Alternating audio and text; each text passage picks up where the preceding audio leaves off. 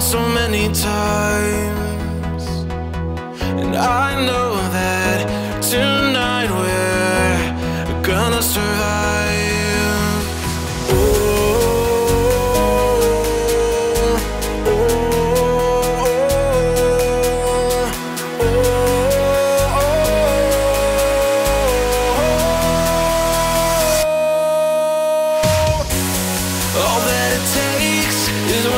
to break, and catch your fall.